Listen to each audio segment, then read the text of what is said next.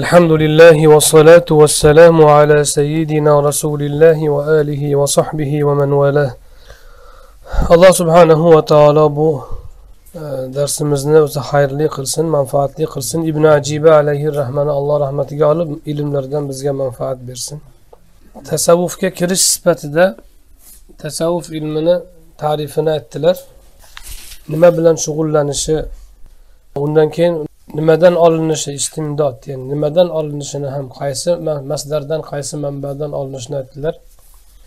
Endi bu o'nta mabadi o'nta e, birlamchi tushunchalar asos tushunchalarni hukmu shari ya'ni shariatning hukmi bu haqida degan bandiga kelganmiz ya'ni kishi bir ilmni o'rganmoqchi bo'lsa shu asos tushunchalarni o'rganib turib u ilm haqida keyin o'sha ilmga kirishish to'g'ri bo'ladi. Shunda o'sha ilmga ongli ravishda kirishgan bo'ladi va to'g'ri e, qadam qo'ygan bo'ladi. أما حكم الشارع فيه فقال الغزالي إنه فرض عين إذ لا يخلو أحد من عيب أو مرض إلا الأنبياء عليهم السلام شريعتنا حكم نما يعني بو تصوف إلمها قد شريعت حكم نما شارع نين شارع ديجان ده muhammad sollallohu alayhi vasallam tushuniladi. Majoziy ma'noda. Haqiqiy ma'noda olloh tushuniladi. Chunki shariatni qo'yuvchi degani shori. Shori qoida qo'yuvchi qonun qo'yuvchi degani shariatni bino qiluvchi qo'yib beruvchi. U alloh subhanahu va taolo olloh qo'ygan nima halol nima harom nima joiz nima nojoiz. Ammo rasuli akram alayhissalotu vassalomga nisbatan ham shu so'z shori degan so'z ishlatiladi. Ollohdan noib bo'lganlari vakil bo'lganlari nuqtai nazaridan majozan shori sollallohu alayhi vasallam desa ham bo'ladi ya'ni shori azza va jalla desa ham bo'ladi. Bu yerda hukmu shariadan har ikkisini iroda qilish mumkin lekin bu yerda e, gapni oqimidan alloh subhanahu va taoloning hukmi deyiladi. Shariatning hukmi desak ham bo'ladi. Shoriyadan murod shariat desa ham joiz e, lug'at lug'at jihatdan keladi to'g'ri keladi. Shoriyaning hukmi shoriyaning hukmi nima degani ya'ni nima deb baho beradi? Shariat yoki shoriy alloh subhanahu va taolo bu ilmga nima deb baho beradi? Bu shartmi shart emasmi? Farzmi farz emasmi? Sunnatmi mustahabbi qaysi vasf bilan hukm beradi? Imom g'azoliy aytadilarki abu hamid g'azoliy ya'ni ihyon egalari innahu fardu ayn. Tasavvuf ilmi farzi ayndir ya'ni har bir kishini boshiga farz. Ba'zi ilmlar farzi kifoya bo'ladi. Masalan usul ilmi mantiq ilmi tabobat ilmi va hokazo. Mutaxassislar uchun farz ayn bo'ladi lekin boshqalar uchun farz ayn bo'lmaydi. Boshqalarga farzi kifoya. Oralaridan bir jumla bir e, to'da odam chiqib o'shani ado qilsa ilmni o'rganib o'rgatsa boshqalardan soqit bo'ladi. Ammo tasavvuf ilmichi? Esa tasavvuf ilmi farzi ayndir. Har bir kishiga namoz kabi farzdir. Fiqda ham masalan namoz miqdori har bir kishiga zarur miqdor farzayn bo'ladi. Aqidada ham har bir kishiga zarur miqdor iymoni sobit turgudek miqdor farzayn bo'ladi. Tasavvufda ham xuddi shunday. Nima uchun har bir kishiga farzayn bo'ladi desa chunki biror bir kishi aybdan va ma'naviy bemorlikdan xoli bo'lmaydi. Faqat payg'ambarlar mustasno ma'sum bo'lganlar. Payg'ambarlardan boshqa biror kishi aybdan yoyinki qalbiy ruhiy kasallikdan ya'ni ruhoniyatdagi kasallikdan xoli bo'lmaydi. Kimiki manda ayb yo'q man hamma yog'im joy joyida meni qalbim pok desa ayni o'sha odamda bo'ladi. Shunday deb xotirjam bo'lgan odam bo'lsa o'sha odamda bo'ladi shu xotirjam bo'lishini o'zi bitta kasallik.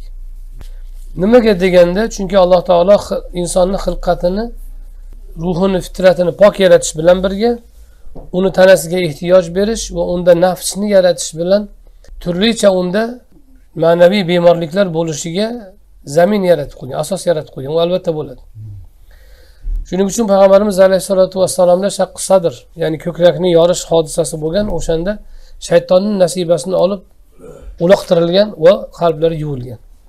Ammo boshqa hammada qolgan o'sha shuning uchun har kimda har xil birovda o'sha o'zini muhitidan oilasidan kelib chiqqani hatto gendan o'tgan axloqiy kamchiliklar bo'ladi.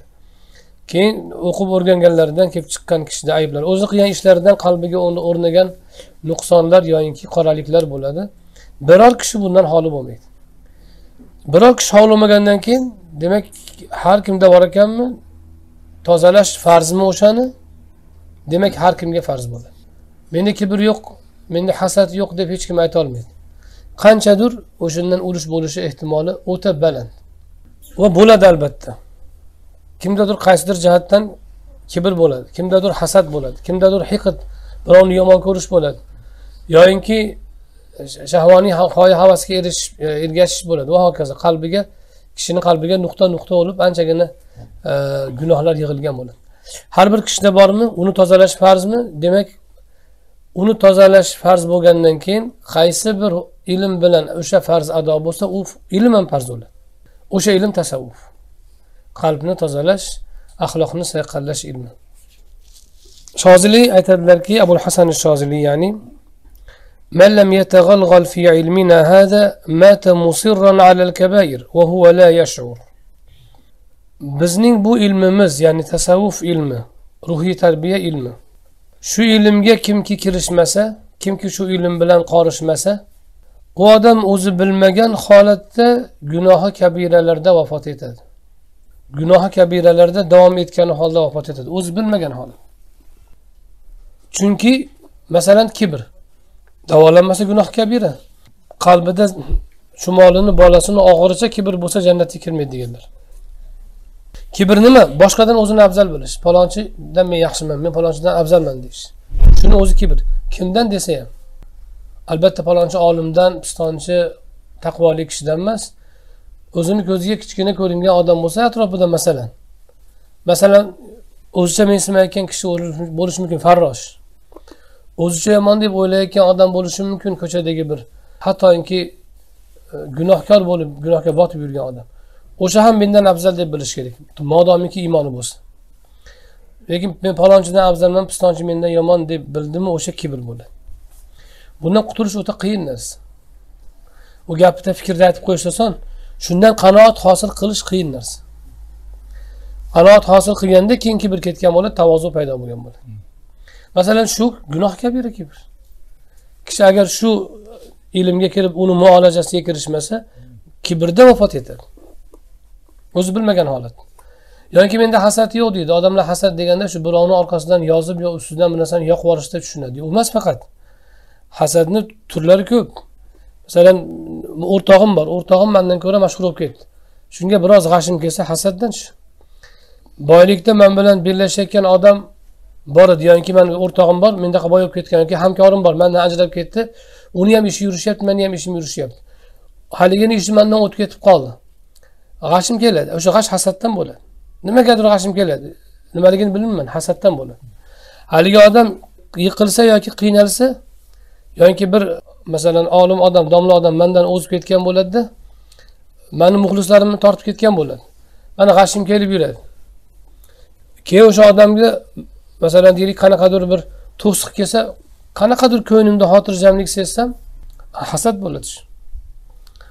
Agar shu holatda demak shuni muolaja qilmasdan vafot etsam gunoh kabirada vafot etgan bo'laman va hokazo misollar ko'p bu shuni aytmoqchilar kimki bu ilmimizga agar qorishmasdan vafot etsa o'zi bilmagan holatda gunohi kabiralarda bardavom suratda vafot etishi mumkin وحيث كان فرض عين يجب السفر إلى من يأخذ عنه يأخذه عنه إذا عرف بالتربية واشتهر الدواء على يده chunki bu ilm farzi ayndir shu qadar farzi aynki agar biror joyda biror kishini ruhiy tarbiya bera olishini bilsa kishi o'sha odamni qo'lida davolanish ma'lum bo'lsa palonchi pistonchilar borib tarbiya olib shu davolangan salohiyatga qaytgan taqvoga qaytgan sunnatga qaytgan degan bir kishini eshitsa agar kishi o'sha odam tomonga borishi uzoq bo'lsa safar qilishi vojib bo'ladi.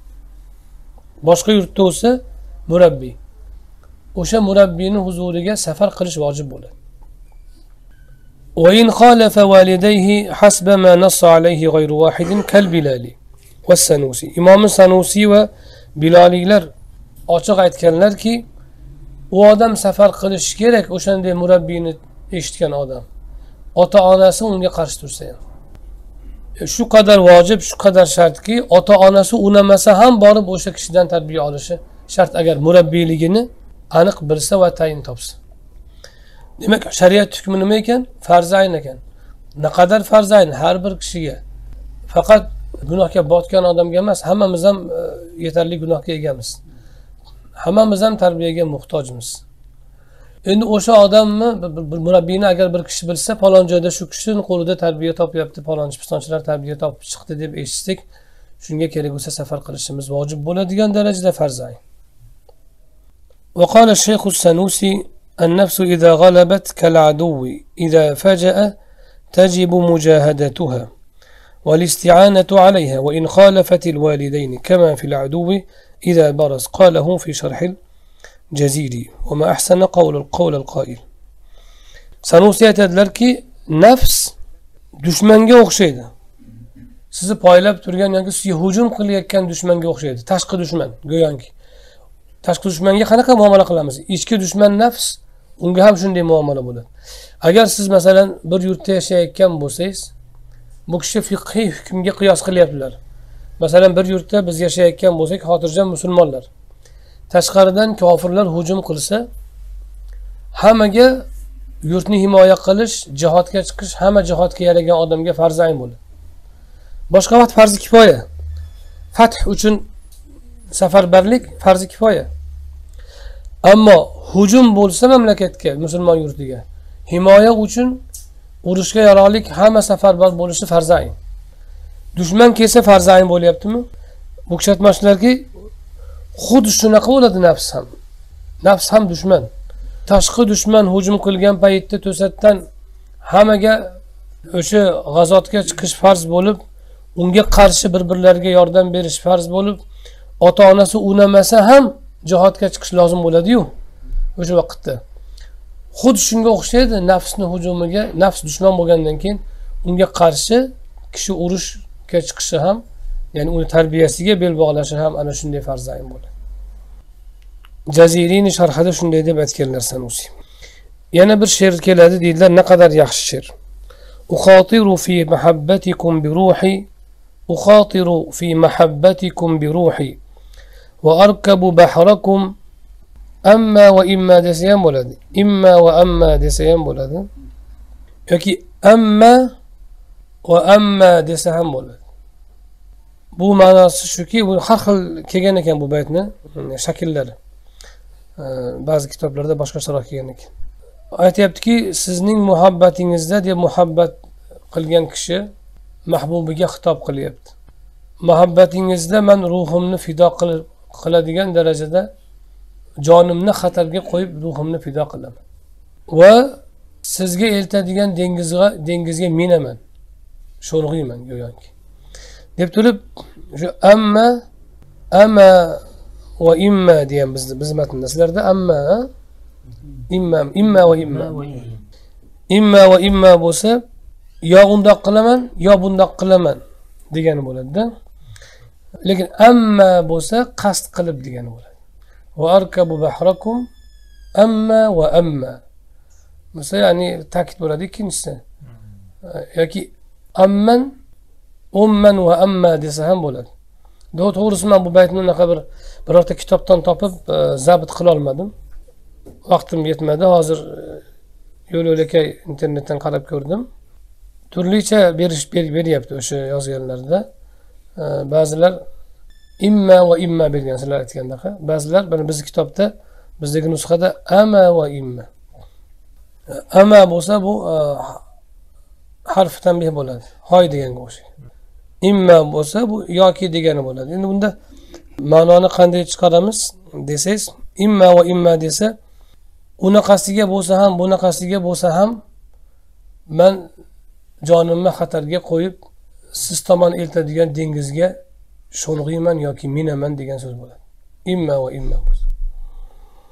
Amma bo'lsa qasd qilgan holatda bo'ladi.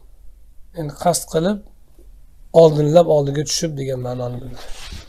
وأسلك كل فج في هواكم وأشرب كأسكم لو كان سما سيزن محبتين إزدى هل قندي أزاق يولارنا باسب أتمن سيزنين قداهين إزنى أجر زهر برسهم سبقرما ولا أصغي إلى من قد نهاني ولي أذن عن العذال صم من بو محبتين قايتر جنكش لرغي قلاق سميما من قلاقم muhabbat uchun malomat qilganlarga kardir muhabbatda meni malomat qiladiganlar bor. Azil deydi.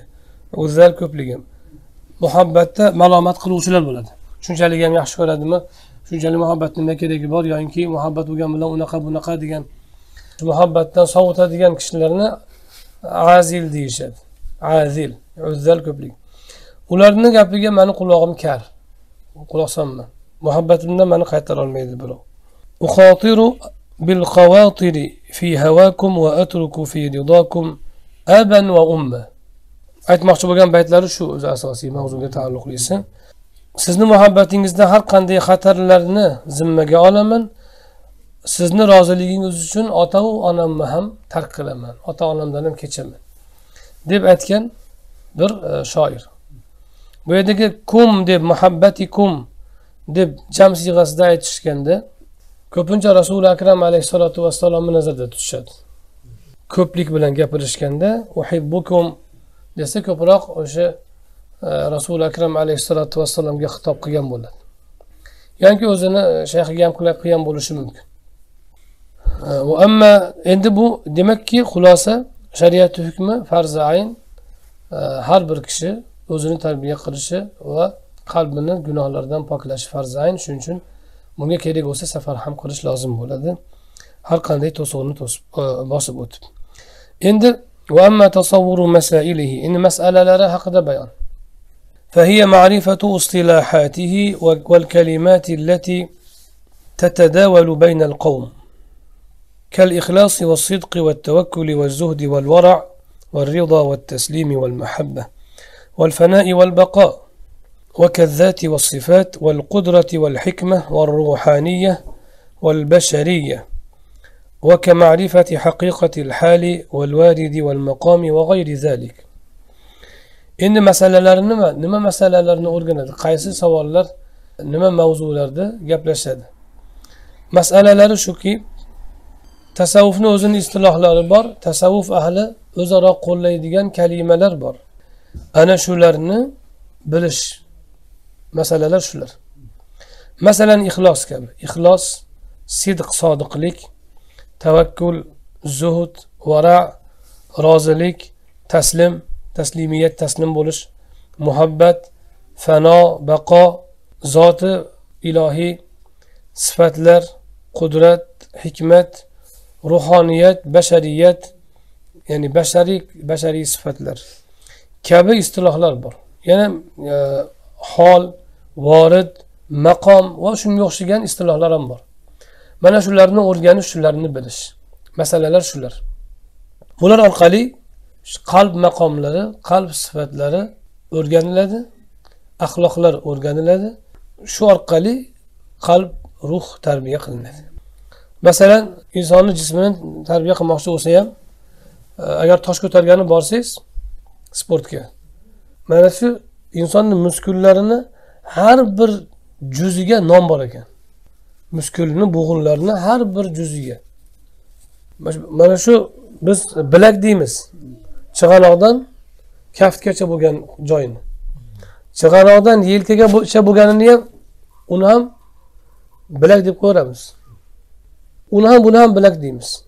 O'sha bilakni shu chig'anoqni o'ng tomonidan ketgan paylar alohida nomlanar ekan chap tomonidan ketgan paylar alohida nomlanar ekan tepa yuqori bilakni ham yelkani orqa tomon bilakni orqa tomonidagi muskullar alohida nom olyapti.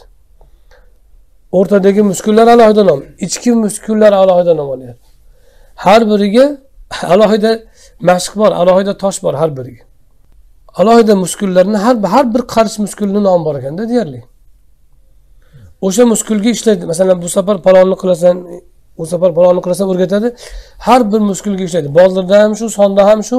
Xususan bilaklarda yelkani oralig'ida ko'krakning ikki tomonida hamma muskullarga alohida qorindagi e, hammasiga nom qo'yilgan. Shularni alohida ishlaydi. Shunda u odamni tanasi mukammal shakl oladi. Ha shunchaki biz o'zimizni e, tarbiyamizda bo'lsachi ajmani yaqil deymiz. Bir xil misol uchun uyda qildirmoqchi bo'lsak. Yugur deymiz ketmon chopsang baquvvat bo'lasan deymiz. Lekin uni har bir juzini tarbiya qilolmaymiz u yerlarni tanimaganimiz uchun u yerlarga alohida istiloh ham bera olmaganimiz uchun. Ruhoniyat ulamolari ham ruhni xuddi shunday tarbiya qiladi. Har bir xususiyati har bir juzini o'rganadi va uni har biriga nom bergan. Nima uchun nima uchun har bitta muskulga nom bergan? Masalan bizga bilak desa yetyaptiyu. Chunki biz bilakni yuvishni bilamiz boshqa narsa uchun bilak kerak emas bizga. O'shaning uchun biz bilak degan so'z bizga yetadi. Ammo bilak bilan uni muskullari bilan shug'ullangan odamga o'sha har bir qarich yoki har to'rt ellik muskulga yangi nom berish unga kerak bo'ladi. U bilak bilan ishlamagan odamga u istilohlar kerak emas. Tasavvuf ulamolari ham istilohlarni qo'ygan. Nima uchun? Ular ruhni xususiyatlarini xossalarini o'ta yaxshi o'rganganlari uchun juz juz zarra zarrasigacha o'rganganlari uchun xususiyatlarini bir biridan ajratish uchun va alohida tarbiya berish uchun har biriga nom berishga muhtoj bo'lishgan. Toinki ruhni to'la kamolga yetkazsin. Biz masalan qisqa qilib taqvoli bo'lish kerak deymiz xolos. Bo'ldi. Taqvo qil deymiz bo'ldi. Taqvoni tarifi ham yo'q o'zi. Nima u taqvo desa taqvoni tarifi yo'q. Palonchi taqvoli deymiz nima u taqvo desa ta'rifini aytib berolmaymiz. Men tavakkul qildim allohga deydi. Nima u tavakkul ta'rifini o'zi aytib berolmaydi. Qanday qilib inson o'zi bilmagan narsani tadbiq qila oladi? Qilolmaydi mumkin emas. Tasavvuf ulamolari ana shu narsalarni bayon qilib beradilar. Taqvo nima? Vara deymiz parhezkorlik. Nima farqi bor ikkalasini zuhd deymiz u nima? Mana bu kalimalarni kiritishganki o'zi asli shariatdan olingan kitobi sunnatdan olingan lekin ta'riflarini daqiq qilib berganlarki kishi ruhiy tarbiya olmoqchi bo'lsa ruhni o'sha hamma jabhadan to'la tarbiya tarbiyalay olish uchun. Ha tarbiya bilmagan odamga o'sha taqvoli bo'ling yetadi. Sunnatga amal qiling deb qo'yadi bo'ladi yetadi. Lekin u odam kamol topmaydi. Xuddi ketmon choping deganday gap? Ishtahasi yaxshi o'z tetik yuraveradi. Ammo jism kamol topmaydi shaklan. Xuddi shunaqangi taqvoli bo'ling desa yuraveradi odam o'zicha taqvo qilib. Ammo haqiqiy kamolotni kasb qila olmaydi. Kamolotni kasb qildirish uchun ularga kishilarga ularni ruhini tanish kerak tanitish kerak xususiyatlarini bosqichlarini hammasini bitta bitta bayon qilish kerak ularga istilohlar qo'yish kerak bo'ladi. Biridan ikkinchisini ajratish uchun. Ana ularni tasavvuf ulamolari qilganlar. Yuqorida aytilgan jumlalar e, so'zlar birikmalar ana shulardan misollar وقد ذكر القشيري في أول رسالته جملة شافية. وقد كنت جمعت كتابا فيه مئة حقيقة من حقائق التصوف سميته معراج التشوف إلى حقائق التصوف فليطالعه من أراده ليستعين به على فهم كلام القوم.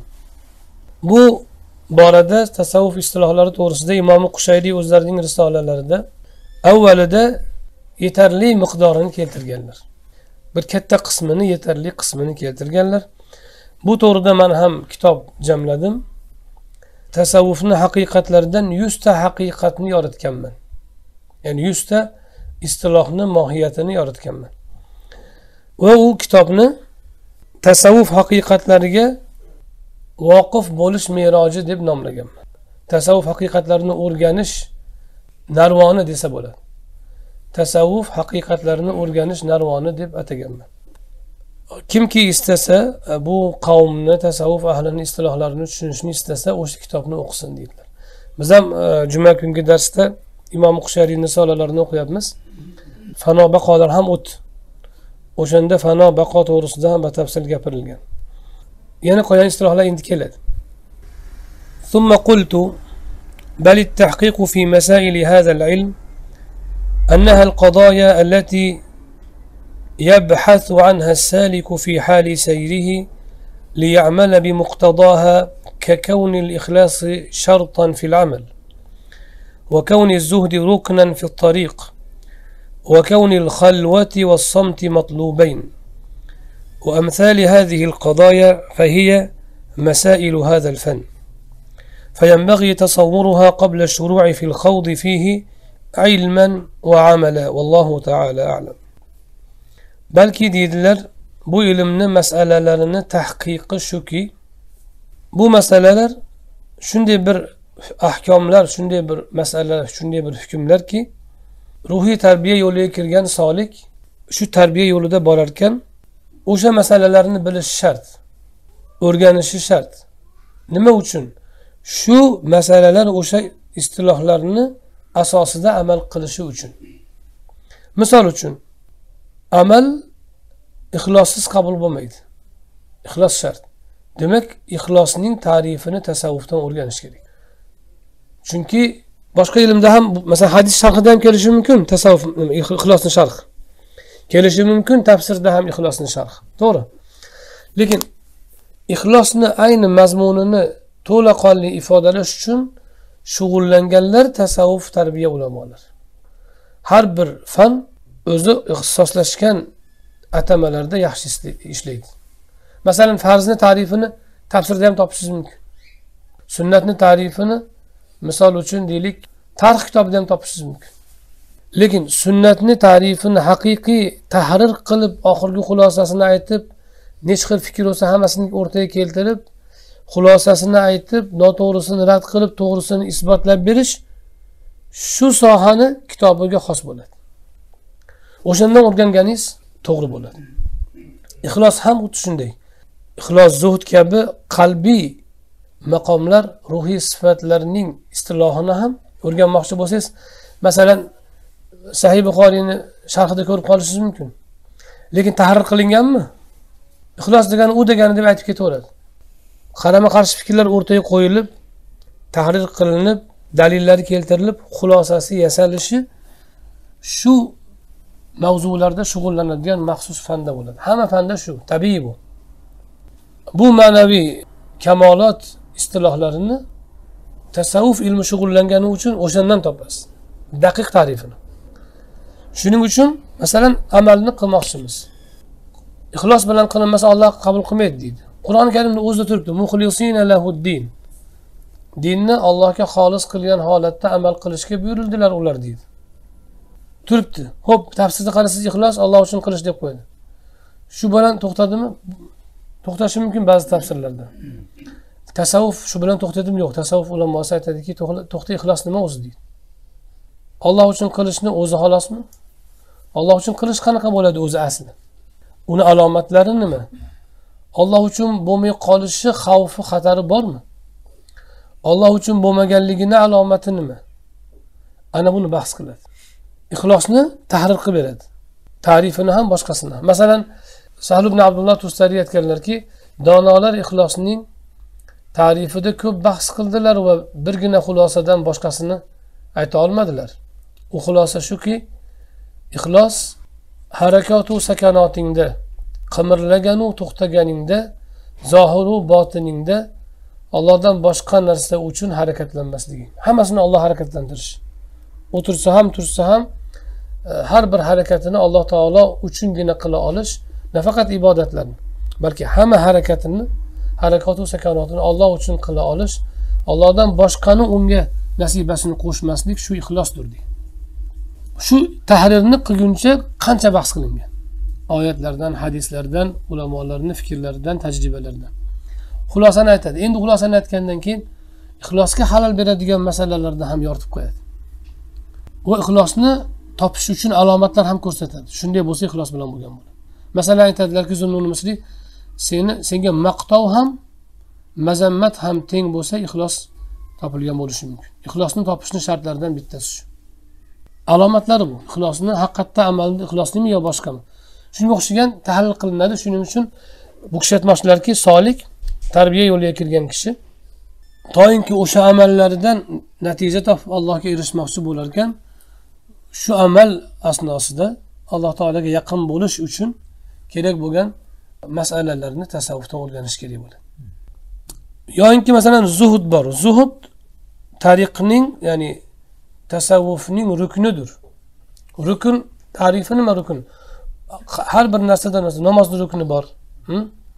tahoratni rukni bor hajni rukni bor boshqa amallarni ham rukni bor.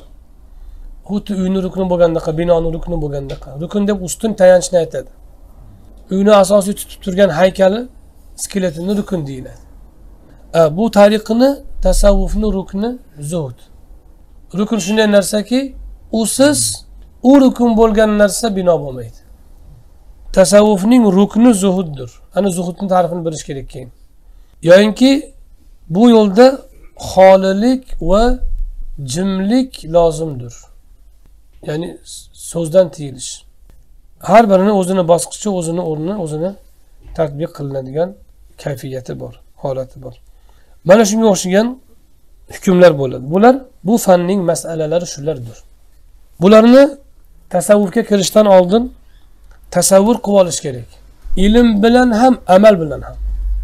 Ham bilim jihatidan tasavvur qilib olish kerak. Ham qo'llashni o'rganib olish kerak.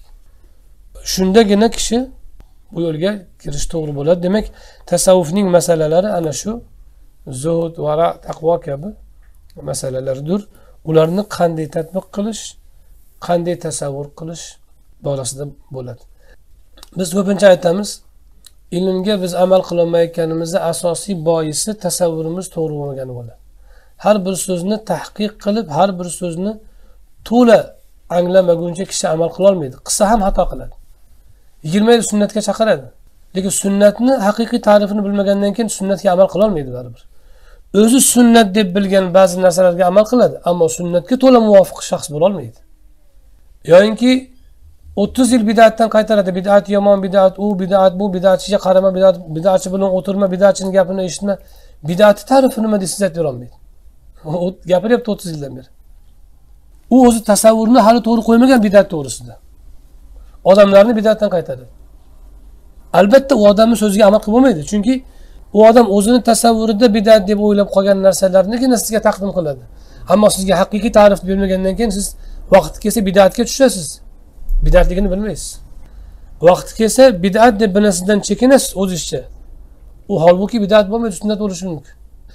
Vaqti kelib sunnat deb o'ylab qilasiz sunnat bo'lmasligi mumkin.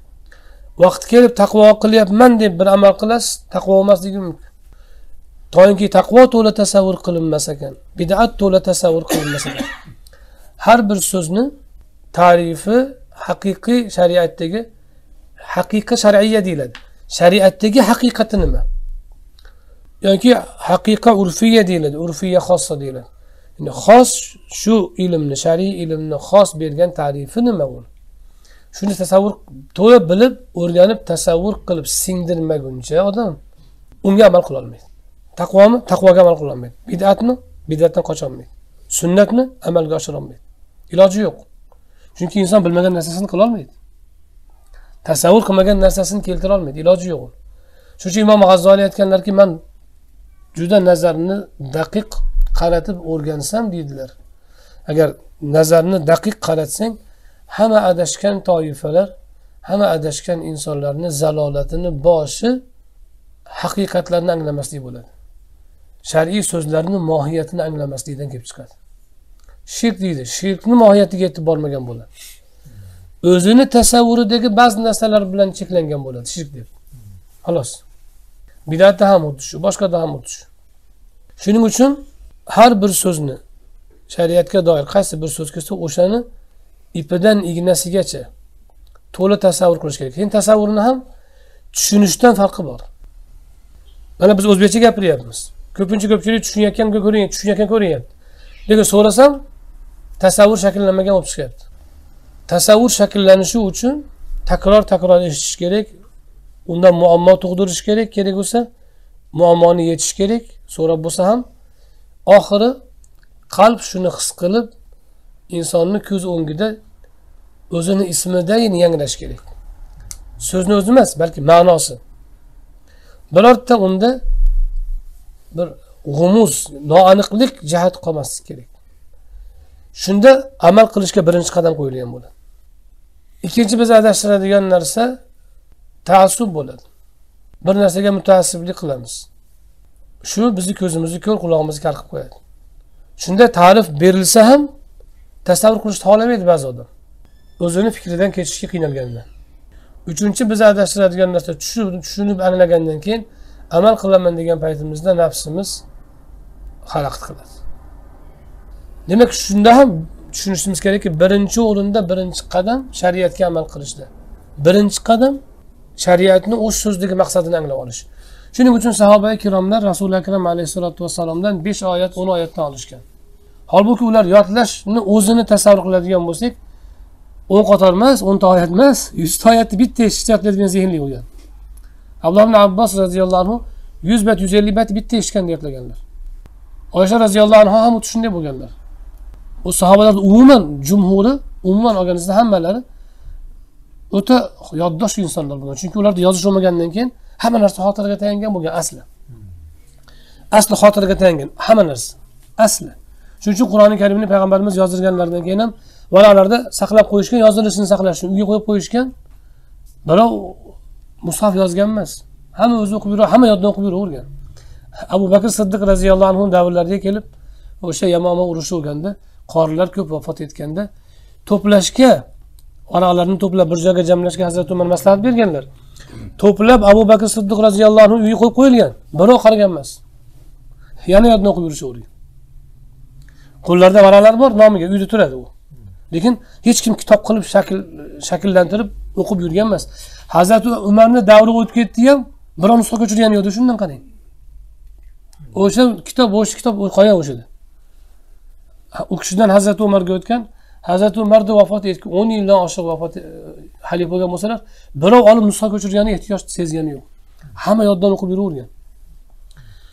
Hazrati usmonni davrlariga kelib ixtilof chiqqan paytda nusxa ko'chirishda olti dona. Bitta yurtga bitta.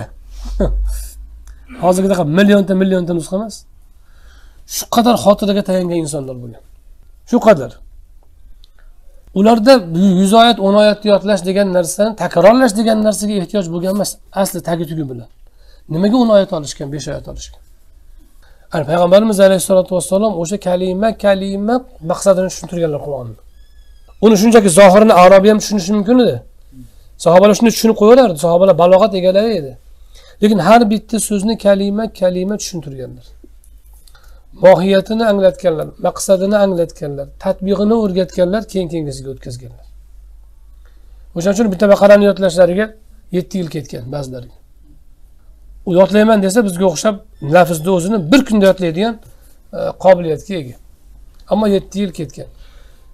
Bir jihatdan tatbiqi bo'lsa ikkinchi jihatdan fahmi bo'lgan.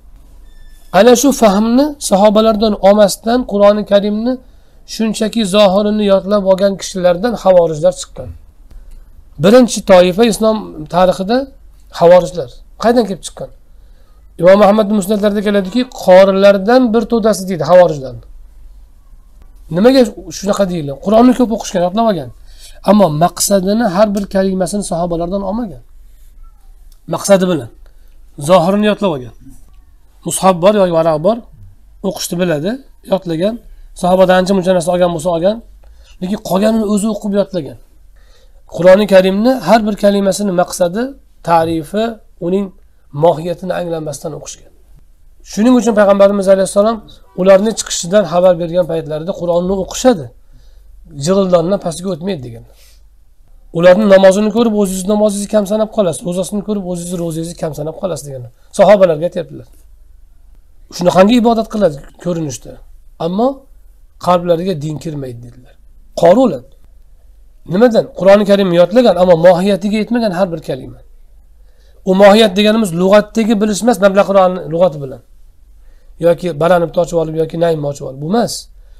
U shoirni maqsadiga ko'ra fahmlash u.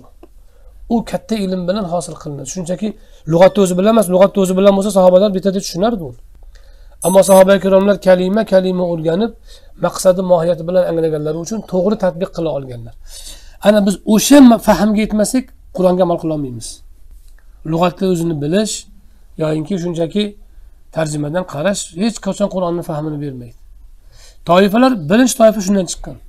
Qur'oni karimni zohirini olgan ammo maqsadini mohiyatini anglay olmagan. Shuning uchun havorijlar hazrati ali haqida sen kofir bo'lding deyishgan inil hukmu illa lillah hukm faqat ollohnikidir sen boshqani hakam qilding ollohdan boshqani deb aytishganda hazrati ali kalimatu haqqin yuradu bihal botil haq gap u ammo iroda qilingan ma'nosi botil. Ko'ryapsizmi? Oyat keltiryapti. Fahmi sahobalarni fahmi emas. Shundan adashyapti shuning uchun har bir fanni har bir ilm xususan shariy ilmlarni kitobi sunnatni o'rganganda ham kalima kalima har bir kalimasini fahmini ta'rifini maqsadini mohiyatini to'la anglab o'qish kerak. Bo'lmasa to'xtab turish kerak o'sha kalimani ustida. Tarilab gapiravermasdan ana shu mohiyatga yetganimizda mohiyat mohiyatda ixtilof bo'lmaydi. Mohiyatga yetgandagina kishilar haqni tepasida birlasha oladilar. Shundagina shariatga to'g'ri amal qilish imkoni tug'iladi.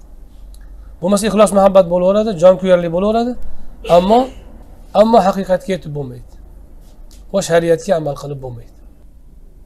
Shuning uchun aytyaptilarki tasavvufga ham kirgan odam kalimalarni ruhiy tarbiyaga kirgan odam tasavvufni istilohlarini bitta bitta bilib borishi kerak. To'la kerak. Endi fazilatichi fazilati har bir ilmni fazilati ham o'rganiladiki shu ilmga rag'bat bo'lsin uchun yoki undan yuz o'girish uchun agar fazilati bo'lmasa. Fazilati nima desa yuqorida biz tasavvuf nimani o'rganadi deganda nima deyildi? Alloh subhanahu va taoloning zotu sifatini o'rganadi. Qaysi yo'l bilan kitobi sunnat va ilhom bilan? E, deb yuqorida aytildi. Kitobi sunnat bilan va fath bilan kashf bilan deyildi.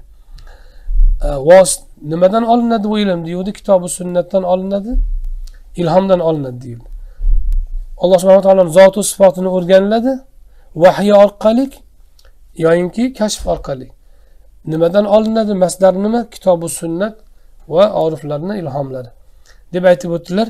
O'shanda mavzu nima? Bu tasavvuf sohasida shug'ullanadigan narsa nima deganda biz zoti oliya ya'ni zoti ilohiy deb aytdik. Oliy zot alloh subhanahu va taoloning zotidir bu tasavvufni mavzusi deb aytdik. Bilamizki alloh subhanahu va taoloning zoti mutlaq afzaldir hamma narsadan. Qiyos qilinmaydi. Falon narsadan ko'ra afzal emas balki mutlaq qiyos qilinmaydigan ulug' afzal. Allohu akbar deb aytamiz shuning uchun. Demak mavzusi shu bo'larkan alloh subhanahu va taoloning ma'rifati bo'larkan bu zot eng buyuk zot ekan. U zotga taalluqli narsa taalluqli ilm boshqa narsalarga taalluqli ilmlarni oldida albatta eng afzali bo'ladi. Tabobatni hurmati nima uchun? Baland. Insonni o'rgangani uchun. Xuddi o'sha mashaqqat quyonni o'rganganda ham bor undan qiyin. Ammo unda unaqa sharofat yo'q u ilmda. Quyoshshunoslikda yoki zoologiyada. Ammo insonni qadri balandligidan uni tanasiga doir ilm qadrli. Endi alloh subhanahu va taoloning zoti qiyos qilinmas darajada akbar ulug' ekan. Boshqa zotlarga boshqa narsalarga taalluqli ilmlarga nisbatan allohni zotini o'rgatadigan ilmni qiyos qilib bo'lmas darajada ulug' deb bilishimiz kerak.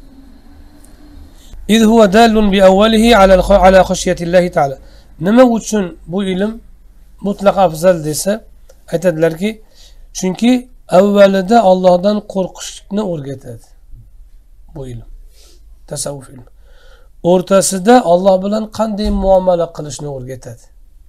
Natijasida alloh taoloni qanday tanish va unga qanday ajralishni o'rgatadi. Alloh taolo tabattal ilayhi tabtila degan rasulullohga. Tabattul degan hamma narsadan kesilib ajralish. Tabattal ilayhi tabtila mutlaq kesilib hamma narsadan uzilib allohga ajra degan. Mana shu ajralishni o'rgatadi. Tabattulni. Bu ollohni buyrug'i bu. tabattal ilayhi tabtila mutlaq allohga ajragan tasavvufni pirovard maqsadi oxiri natijasi shu. Demak alloh subhanahu va taolodan qo'rqishni o'rgatar ekan boshlanishida. Keyin olloh bilan muomala. Olloh bilan muomala qanaqa? Dard bersa nima deb qarashimiz kerak? Ne'mat bersa nima deb qarashimiz kerak? Duoyimizni ato qilsa nima deb tushunishimiz kerak so'raganimizni? So'raganimizni bermasa nima deb tushunishimiz kerak? Namoz o'qi debdi qanday namoz o'qishimiz kerak? Zakot ber debdi qanday berishimiz kerak? Mana bu olloh bilan bo'lgan muomala bu. Mana shu muomalani o'rgatadi.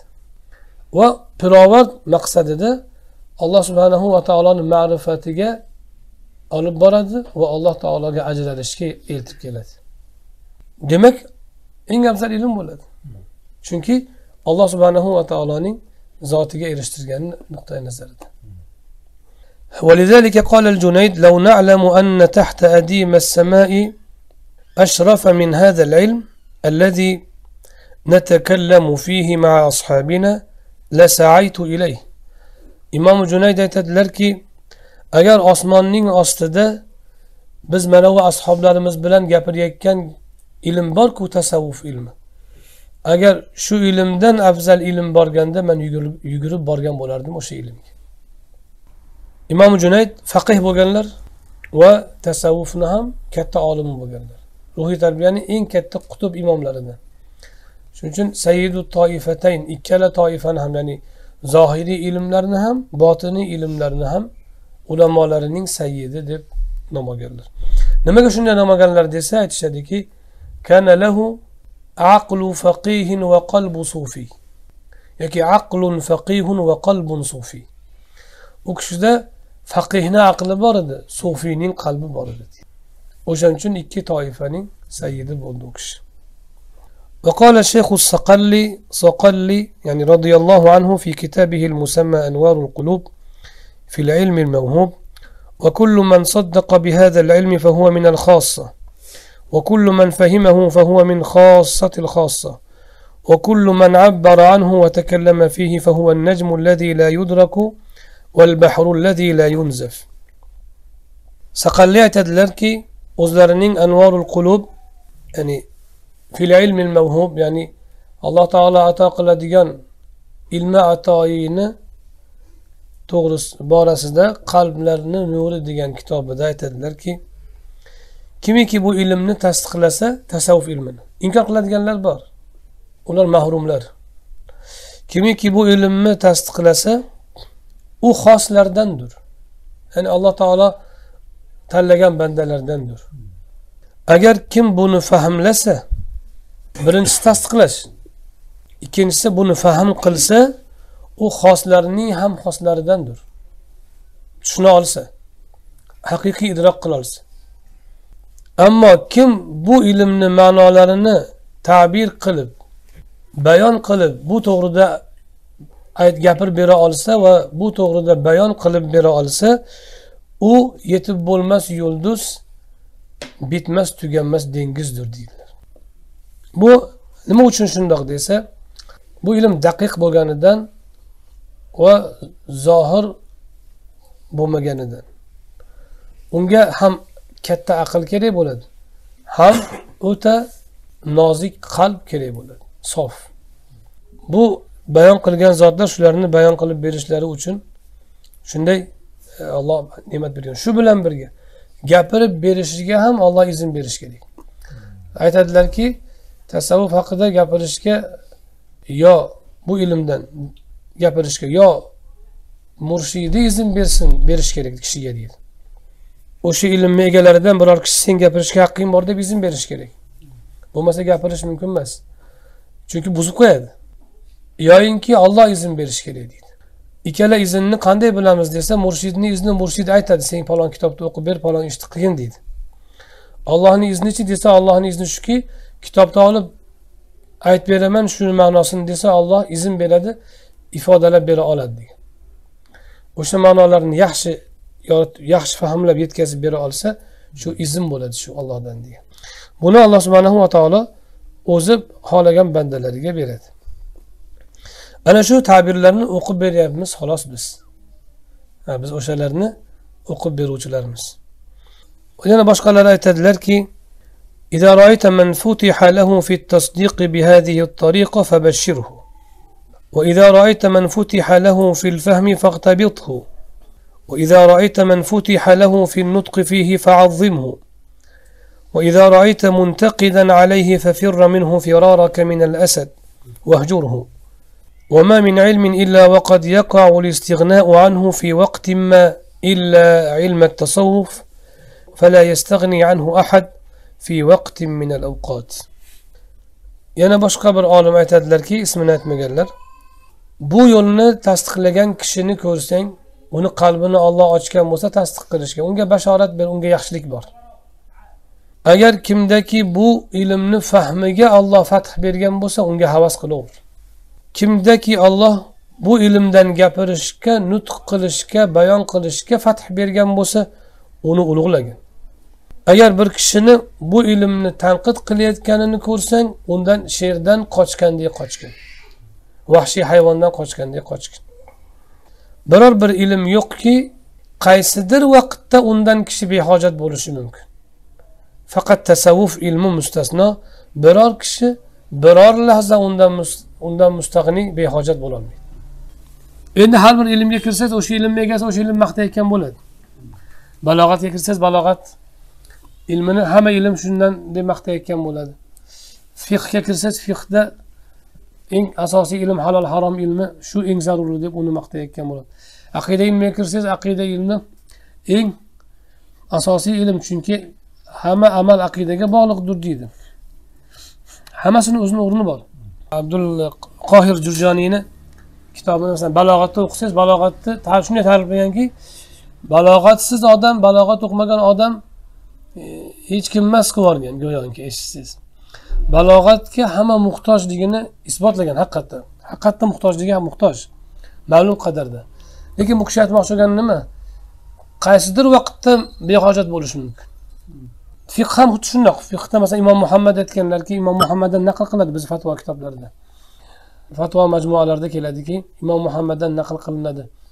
Nahv o'qimagan. Nahv o'qimagan emas nahvuni o'qitaman deb nahv ustod arabshunoslikka berilmaginki kuning yosh bolalar bilan qoladi deydi. Ilgari arab tili birinchi o'qilgani uchun yosh bolalar o'qitilganda kattalar nahu o'qigan emas biz endi kattalar o'qiyapmiz. Lekin ular davrida yosh bolalarga o'qitilgan bizda alif tesini qatorida. Arabshunoslikka arabshunoslik bilan shug'ullanish ja unaqa yoqimli emas yosh bolalar bilan qolasan degan. Shug'ullanmagin demaydi. O'zini qarashi yoqimli emas chunki yosh bolalar bilan kuning o'tadi deydi. Nahu endi tafsirga berilaman desang oxiri qissaga o'yib qolasan deydi. Ilgarigi tafsirga berilganlar ko'proq payg'ambarlarni qissalarida isroiliyotlarni o'qib yurishganda isroiliyotlarni o'qib palonchi undoq degan ekan piston bundoq bo'lgan ekan kuning qissalariga qoladi deydi. Yana falon ilmni o'qisang kuning falon narsaga qoladi deydi.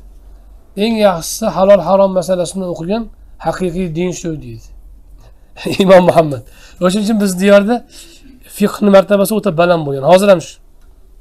Hamma ilm ham o'zini davosini qiladi. Chunki har bir ilmni insonni hayotiga daxli bor fiqni o'rni bor halol haromda. Hammaga kerak. Savdogarga ham kerak haj qilganga ham kerak namoz o'qiganga ham kerak. Balog'at ham kerak hammaga. Modomiki talab ilmga kirar ekan qur'onni tushunish uchun hadis tushunish uchun balog'at albatta kerak. Sarf nahu albatta kerak. Hammasi kerak. Ammo tasavvufdan xususiyat shu yerda. Biror lahza kishi behojat bo'lolmaydi chunki kishi doimo amaldami? Amalda ixlosni saqlash uchun qalbni saqlash uchun u doim muomaladami yo alloh bilan yo insonlar o'sha muomalada adashmaslik uchun doim muhtoj?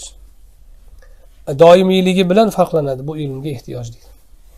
Bu yerda o'sha tasavvufni e, inkor qiladiganlarga ham bir munosabat bildiryaptilarki vahshiy hayvondan qochgandek qochib u kishi qalbi o'lik bo'ladi. Qur'onni o'qishi mumkin hadisni o'qishi mumkin yodlashi mumkin qalbiga kirmagan bo'ladi. Qalbimga kirgan deb davo qilsa ham hamma ko'nglim toza deyaveradi. Lekin qalbiga kirgan bo'lmaydi. Kirgan bo'lsa albatta qabul qilish kerak. Chunki o'sha ilmni negizidan gapiradi bu kitobi sunnat. Ana shu ma'noni aytganlar hazrat navoiy biz ko'pincha noto'g'ri tushunib qo'ygan bir maqta qit'alari bor. Nokasu nojins avlodin kishi bo'lsin debon chekma mehnat kim? Latifulmas kasofat olami. Kim? Kuchuk birlan hudukka qancha qilsang tarbiyat. It bo'lur dog'iy eshak bo'lmaslar aslo odam.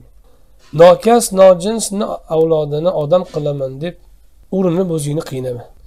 Chunki kasofat olami latif bo'lmaydi baribir deydi. Bu kasofatni bizda arabcha emas kirillcha yozgani uchun fors tilidagi kas ofatdan deb tushunib qolganmiz. Kasofat haligi palaka deganga o'xshagan. Asli bu arabiy so'z kasafadan olingan. Kasaf kasafa zichlik degani. Uni qayerdan topamiz? Latif bo'lmas degan so'zdan topamiz. Latif zichlikni aksi lutf. Latif ya'ni mayin daqiq bo'lish. Muloyim bo'lish ruh insonni ruhi latif narsa. Shuning uchun o'lgan odamni taroziga o'layotgan odamni taroziga qo'yib joni chiqqandan keyin qancha grammga farq qiladi deb o'rganishganda yigirma besh o'ttiz gramm chiqqan farq deyishadi. Ruh o'ta yengilligidan endi bu ma'lumot ularda qanchalik e, nima bo'lgan? E, haligi hamma o'likda bo'lganmi yoki boshqa sabab ham bormi qaychi qolib ketganmi bilmadim. Lekin shunday deyishgan. Lekin ruhni shunaqa yengilligi aniq. Ruhi tashqariga chiqib sayr qilganlarni hikoyalari bor bir qancha. Havoda zarralardaqa sochilib ketar ekan deb aytishgan. O'ta yengil bo'ladi ruh insonni ruhi o'shaning uchun nafh deyilgan va nafahtu nafh qildim degan xalq qildim demagan. O'sha nafh degani puflash puflash bilan kiritilgan yasalgan emas.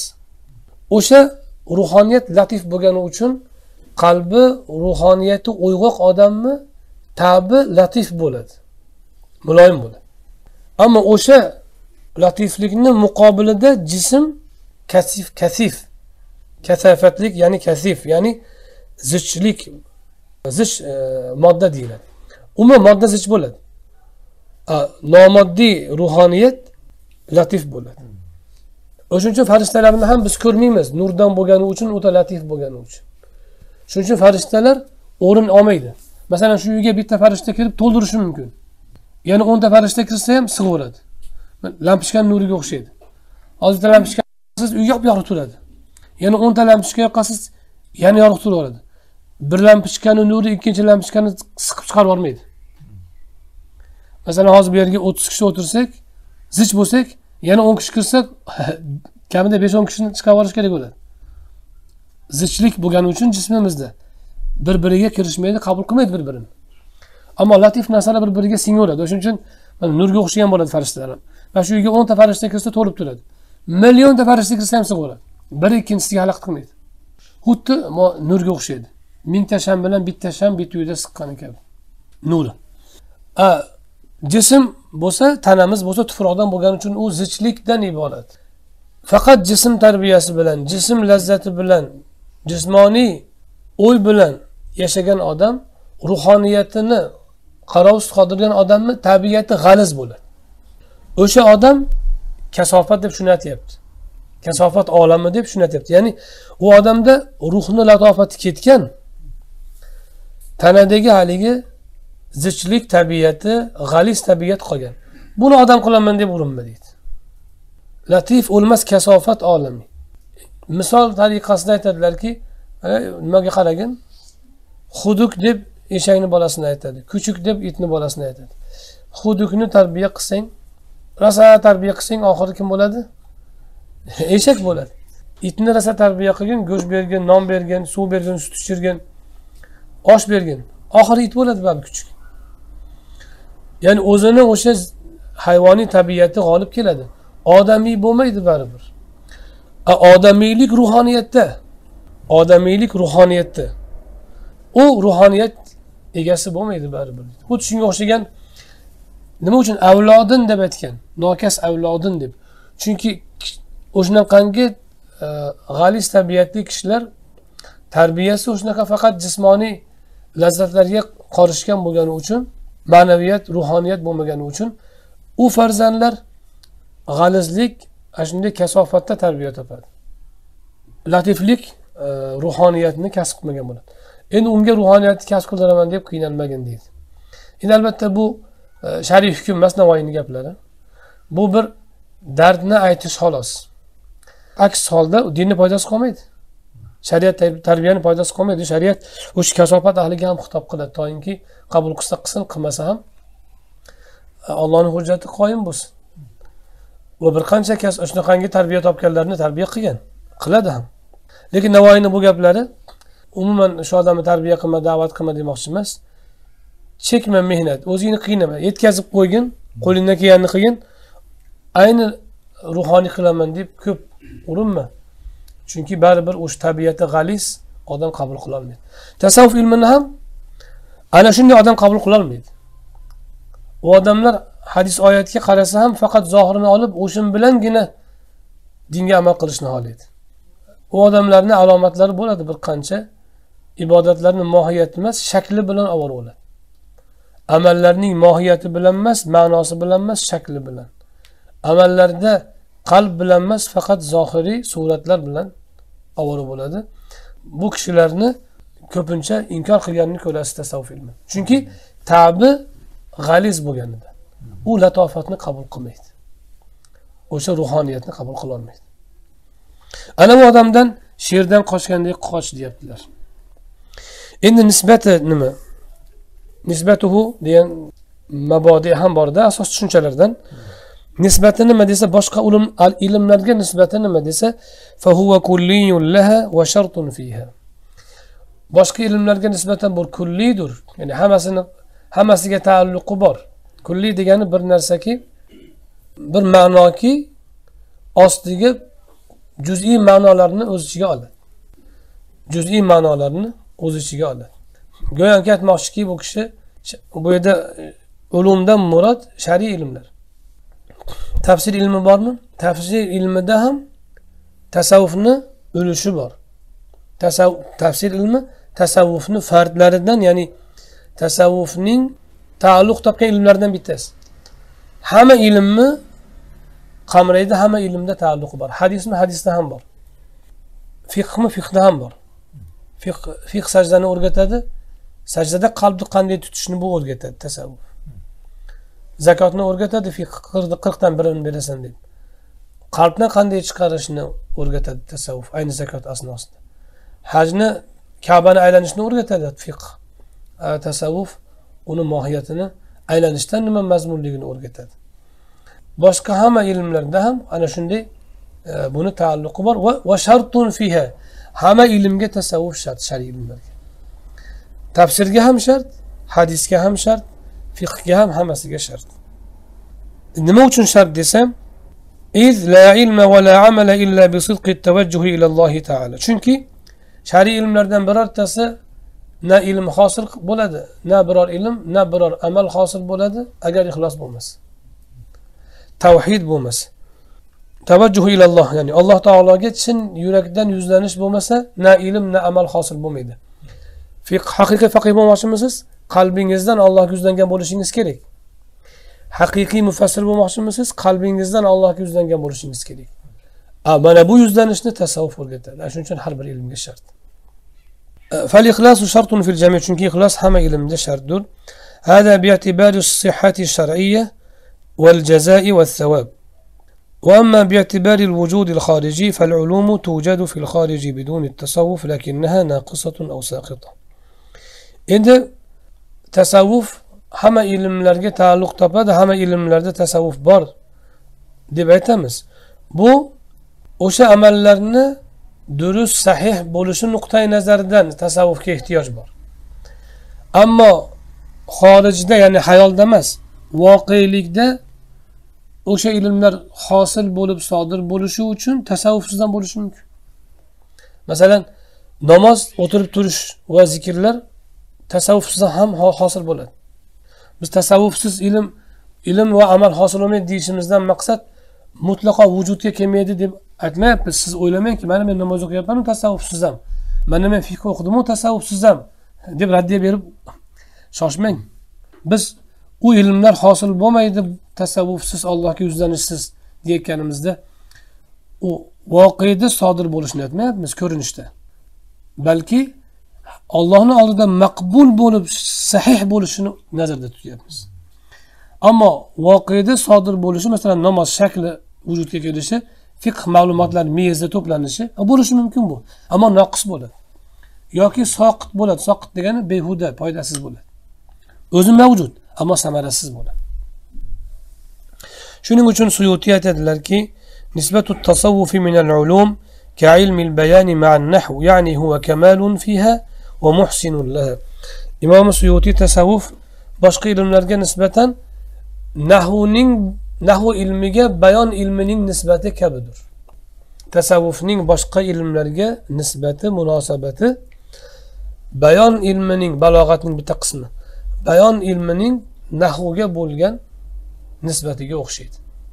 Qaysi ma'noda o'xshaydi desa kamolot beradi va uni go'zal qiladi. Bayon ilmi nima desangiz bayon ilmi bitta ma'noni turli ta'birlar bilan ayta olish ilmi. Va ma'noni ko'zlangan maqsadda yetkazib bera olish ilmi masalan bir gapni aytaverasiz. Masalan bir kishini otasi vafot etdi. Otasini sog'inganini aytishim mumkin yoyinki ichidagi dardini aytish mumkin. Qisqa qilib dadamni ko'rgim keldi rosa sog'indim deb qo'ydi xolos. Bu odam ichida tuyg'usi ko'p ammo ifodalab berolmaydi bu odamda bayoni yo'q. Ammo bu odamda bayon bo'lsachi? Bayon bo'lsa u otam jonimni sog'indim E, bosgan izlari ko'zimni oldida turibdi vo kozo! deb keyin ichidagi tuyg'ularni hammasini ifoda qilolmaydi o'shanda haligi kishi gapirganda to'g'ri gapirsa masalan e, fe'lni foilni joyiga qo'yib nahvni keltirgan bo'ladi.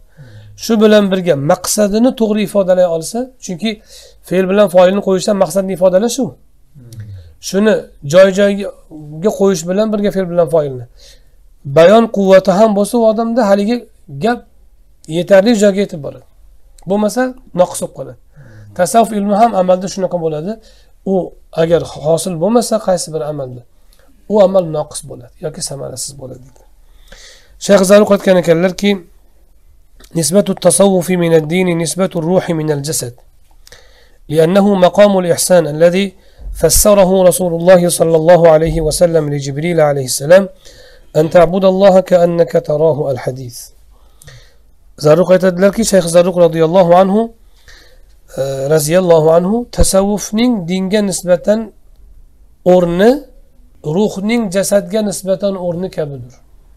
Jon jismda qanday o'rin tutsa dinda tasavvuf shunday o'rin tutadi. Chunki din uch jabha aqida aql ilmlari islom tana ilmlari tanaga doir shariat hukmlari tasavvuf ehson qalb ilmlar. Uchalasini jamlasa keyin din bo'ladi. Buni jabroil alayhissalom hadislarida biz o'qiganmiz o'rganganmiz. O'sha hadisda ehson nima deb so'raganlarida jabroil alayhissalom rasululloh aytdilarki alayhisalotu vassalom alloh subhanahu va taologa uni ko'rib turganingdek ibodat qilishing. Sen uni ko'rmasang u seni ko'rib turibdi deganlar. Shu yerda ko'rib turganingdek deyishlari ayni ko'rish bilan emas. Ko'rib turgandek. Ko'rib turgan odam qanday tutadi o'zini shunday. Agar masalan siz hozir olloh joningizni olib qabrda shundoq o'zini huzurida turg'izsa qanday tutasiz o'zingizni? O'shanday tutish. Ollohni ko'rib turgandek. Ko'rib turgandek tutishda yana bitta ma'no yaqin. Ko'rgandek amal qilish. Ya'ni e, amalni tasarrufida tilini tasarrufida ko'zini tasarrufida alloh taoloni ro'parasida tuyish. Ibodatdan murod bu yerda namoz emas faqat. Allohni ko'rib turgandek ibodat qilishing deganlari namoz o'qiyotganda ollohni ko'rgandek bo'lishing emas.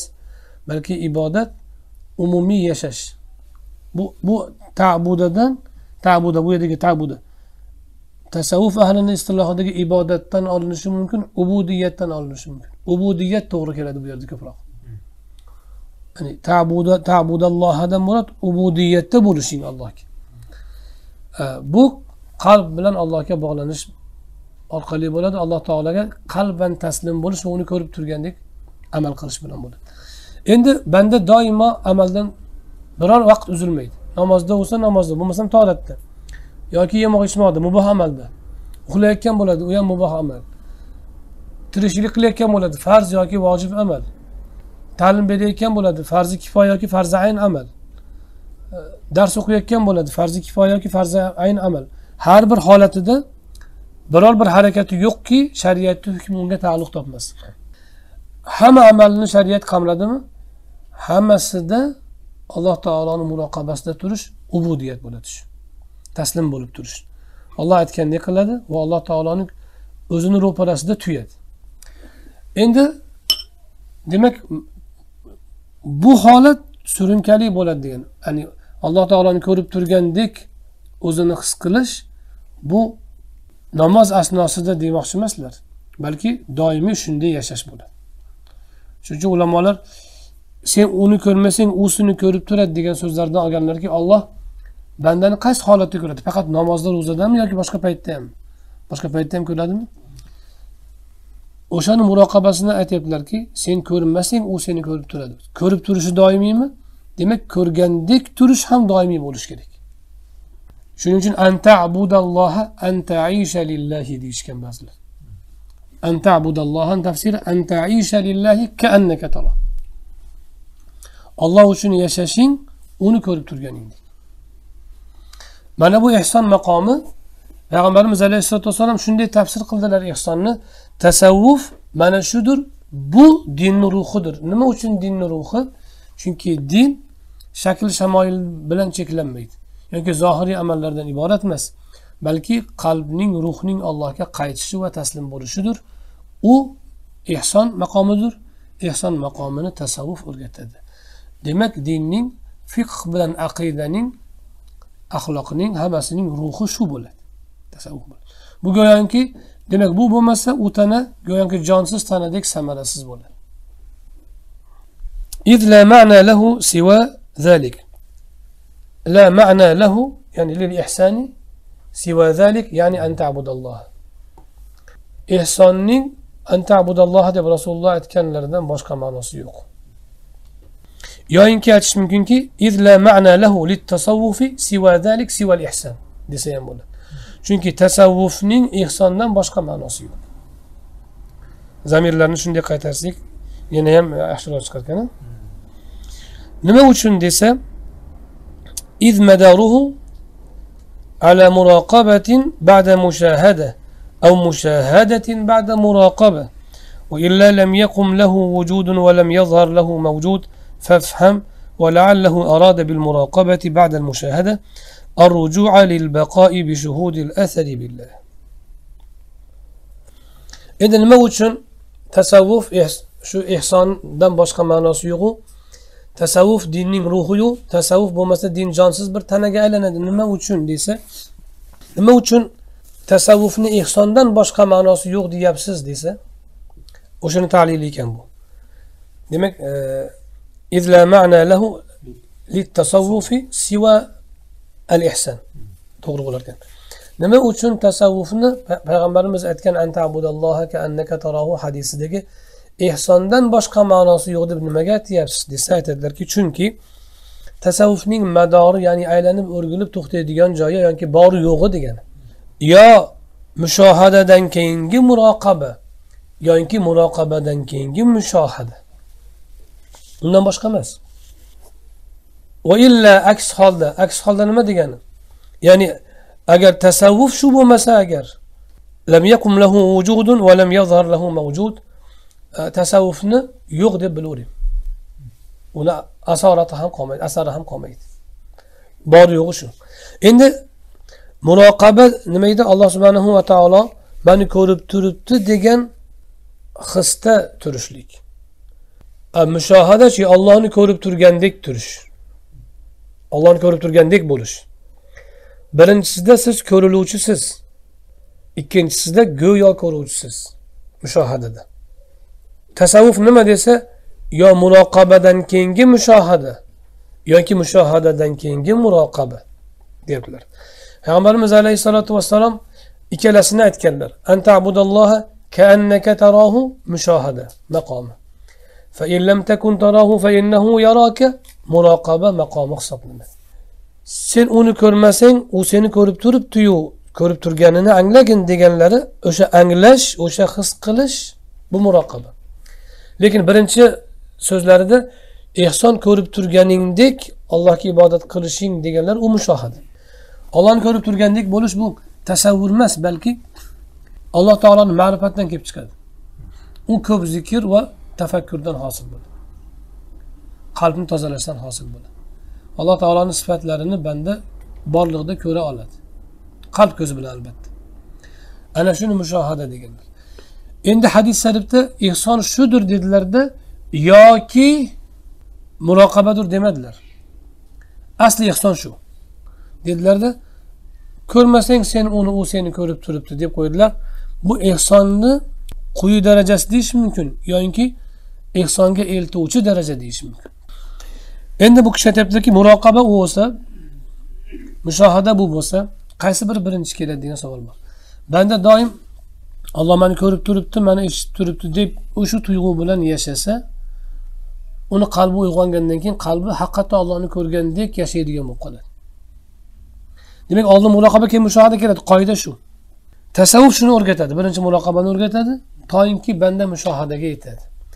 Ammo bu yerda bir g'arib joyi shuki yoyinki mushohadadan keyingi muroqaba deyaptilar. I muroqaba oldin emasmidi desa aytmoqchilarki bu zarruqni gaplarini sharhlab muallif ibn ajib aytyaptilarki bu mushohada asli muroqabadan keyin hosil bo'ladi. Ammo bu kishi tasavvuf yo muroqabadan keyingi mushohada yoyinki mushohadadan keyingi muroqaba deyishdan murodi nima desa u keyingi muroqaba oldingi muroqabadan farqli demoqchi. Oldingi muroqaba olloh mani ko'rib turibdi deb o'sha tuyg'uda yashash. Mushohada undan keyingi daraja ollohni ko'rib turgandek yashash. Undan keyingi muroqaba oldingidan boshqa muroqaba u al baqou lillah maqomi ya'ni u odamni qalbidan hamma narsa bekor bo'ladi. Qalbida biror narsani o'rni qolmaydi. Biror narsa uni ko'ziga ko'rinmay qoladi. Ma'naviy ma'noda ya'ni. Faqat olloh ko'rinadi va shu bilan birga boshqa narsalar olloh orqali ko'rinadi allohga bog'lab ko'rinadi hamma narsa misol uchun payg'ambarimiz alayhissalotu vassalomga bir meva olib kelishdi yangi pishgan mevani madinani mevalaridan bittasi yangi pishganda tabarrukan rasululloh boshlab bersinlar dedi. Rasuli akram alayhissalotu vassalom e, yangi pishgan mevani olib qoribul qoribul ahdi min robbi dedilar robbimizdan yaqindagina ya'ni robbimizdan endigina kelgan narsa dedilar. Robbimizdan robbimizga ahdi yaqin robbimdan hozirgina uzilib kelgan deyishdan murod nima? Buni yer ta'minlayotgandi yerga yomg'irni olloh yog'dirgan buni hozir qo'limizga uzilib kelguncha bo'lgan holati alloh taoloni ta'minoti deyaptimiz bo'lmasa shuni mevani biz yesak esimizga kelmaydi bu narsa. Biz masalan mevani Oh, oh, oxirsa qizaribdimi zo'r pishibdimi? Bismillah qani olinglar deb yeymiz to'g'rimi? Shu oddiy mevani ustida alloh taoloni eslayaptilar. Yeganda ham xuddiki haligi ollohdan ollohni ne'mat alloh taoloni ta'minotidan kelganligini mushohada qilib turib yeyaptilar. O'sha oddiy mevani yangiligini ollohga bog'layaptilar. Oling svejiy demayaptilar. Balki yangiligini ham allohga bog'layaptilar yangigina emas. Robbimizdan endi kelgan narsa. Mana shu har bir narsani zimnida ollohni ko'ra olish shu ollohni asarlarida qudratlarida yaratmishlarida alloh taoloni ko'rish bo'ladi shu. Bu mushohadadan keyingi muroqaba. Ya'ni alloh taoloni o'zini ko'rgandek turish bilan birga maxluqotlarini ham ko'rish maxluqotlarni alloh taologa bog'lab ko'rish. Tasavvuf yo unisidir yo bunisidir ya'ni tasavvuf yo muroqabadan keyingi mushohada. Demak muroqabani o'zi emas tasavvuf. Ehson shuning uchun rasululloh aytdilarki ehson nima deganda alloh taoloni ko'rganingdek ibodat qilishing shu ehson dedilar. Yoki olloh mani ko'rib turibdi deb ibodat qilishing demadilar. Yoki emas. Sen ko'rmasang olloh seni ko'rib turibdi degani hech bo'lmasa shuni o'ylaginki naginga yetasan. Asli ehsonga degan. Ehson demak olloh mani ko'rib turibdi deb yashash ehson maqomi emas. Ammo ehson maqomiga eltuvchi vosita. Shuning uchun tasavvuf nima desa muroqabadan keyingi mushohada ayni muroqaba emas. Muroqaba tariqat bo'ladi. Tariqat tasavvufni tadbiqi va uni amalga oshirish yo'li. Muroqaba tariqat bo'ladi ammo tasavvuf qachon hosil bo'ladi? Mushohada hosil bo'lganda hosil bo'ladi. Haqiqiy komilini demoqchimiz ya'ni. Undan oldingisi ham tasavvuf ilmiga kiradi. Pirovard tasavvufga erishtirish uchun. E, tasavvuf demak yo mushohada yoki mushohadadan keyingi muroqaba. Bu degani yo foniylik yo foniylikdan keyingi boqiylik. Yo fanofilloh yoki fanofillohdan keyingi baqobilloh. Bu tasavvuf bu istilohlarni biz qushaylikda aytganmiz. Tasavvuf shudir deydilar. Shuning uchun ehson maqomi shu deydilar. Ehson maqomi bu islomning asl ruhi shu. Shuning uchun qur'oni karimda biz qarang lam yuridillahu an yutahhira qulubahum. Alloh ularni qalblarini poklashni xohlamadi. Ko'zlar ko'r bo'lmaydi balki qalblar ko'r bo'ladi deydi. Qalbga shunaqangi e'tibor beradi qur'oni karim. Nimaga? Ayni shu ehsonni uyg'otish uchun. Bu to'g'rida har qancha e, gapirsa bo'ladi. Endi bu ilmni foydasichi desa nimaga olib keladi buni natijasi? Qalblarni sayqallash poklash va allomul g'uyub bo'lgan g'ayblarni bilimdoni bo'lgan alloh subhanahu va taoloni tanish. Yuqorida aytganlarida tasavvufni mavzusida ollohni ma'rifati bilan shug'ullanish yoki nafs va ruh qalbni tarbiyasi bilan shug'ullanish deganda o'sha foydasi shu. Natijada nimaga erishaman bu bilan birinchi o'rinda nafsingiz qalbingiz poklanadi haqiqiy ma'noda o'zingiz pok his qilishingiz emas u rostdan poklanadi va alloh subhanahu va taoloning ma'rifatiga erishasiz أو تقول ثمرته سخاوة النفوس وسلامة الصدور وحسن الخلق مع كل مخلوق yoyinki aytishimiz mumkinki bu ilmning samarasi nimada ko'rinadi desa nafs saxiy bo'lib qoladi baxillik ketadi ziqnalik ketadi. Torlik ketadi nafsdan. Ko'ngil keng bo'ladi. Axloq go'zal bo'ladi har qanday maxluqqa nisbatan hatto insonu jamodotu hayvonotu nabotot hammasiga nisbatan insonni axloqi go'zal bo'ladi. Rasuli akram alayhissalotu vassalom nima dedilar? Uhudun jabalun yuhibbuna va nuhibbu. Uhud tog' tog' tizmasi bitta tog' emas tog' tizmasi. Madinani qirg'og'idagi. Uhud shunday bir tog'ki u bizni yaxshi ko'radi biz ham uni yaxshi ko'ramiz. Jamoadotga ham munosabatni to'g'irlaydi. Axloqni go'zalligini ham tog'ni yaxshi ko'radimi birov biz hozir o'zimizni tasavvurimizdan qarasak biz moddiy tasavvurimiz bilan qarasak toshku u. Shuni yaxshi ko'rgan ekanlar. Shuning uchun rasuli akram alayhissalotu vassalom abu bakr siddiq roziyallohu anhu umar usmon roziyallohu anhular rasululloh bilan uhudga chiqqanlarida uhud larzaga kelib titragan. Silkinganda uthbut ya uhud tek tur ey uhud deganlar. Alayka nabiyyun va siddiqun yoki av siddiqun av shahidan yoki av shahid deganlar bir rivoyat. Tek tur ey uhud tepangda nabiy turibdi siddiq turibdi ikki shahid turibdi deganlar. O'shanda nima uchun titragan desa ulamolar tafsirida aytishadiki tarjimasi tahlilida muhabbatdan deydi. Ma'shuq oshiqni oldida titraydida deydi. Ma'shuq oshiqqa yetishgan paytda iztirobga tushadida deydi. Uhud shuning uchun titragan deydi. Larzaga kelgan. Rasuli akram alayhissalotu vassalom jabalun yuhibbuna va nuhibbuhu degan so'zlari bu titroqqa tafsir bo'ladi deyishadi. Ana shunday maxluqotga nisbatan butun borliqqa nisbatan nafaqat inson go'zal xulqni hosil qilish bu tasavvufni samarasi bo'ladi.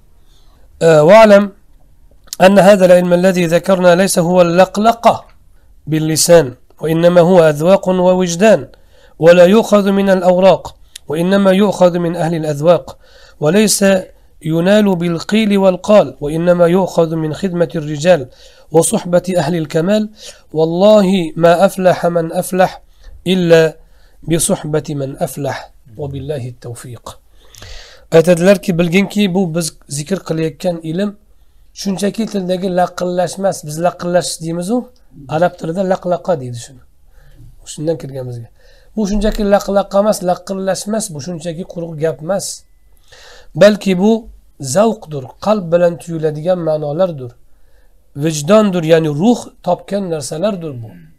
Bu varaqlardan sahifalardan olinmaydi bu ilm. Balki bu o'sha ma'nolarni tuyganlardan olinadi. Zavq ahlidan olinadi.